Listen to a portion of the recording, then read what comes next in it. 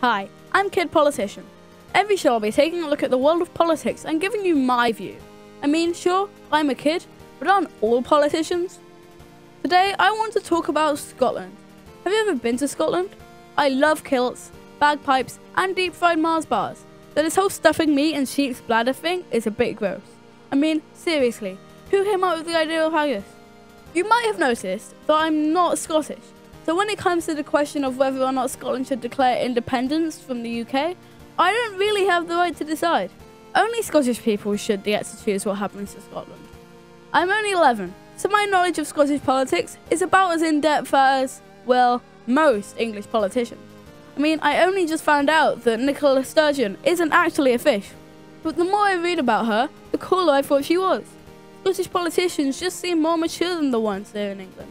Maybe we should just all move there. Everyone always talks about Scotland being known for frying things.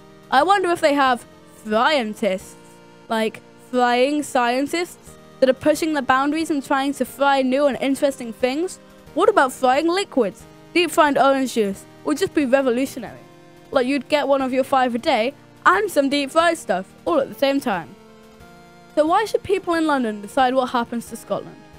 That's just like saying people in Australia should have a say over what happens in China or saying that Donald Trump should decide what happens on the moon.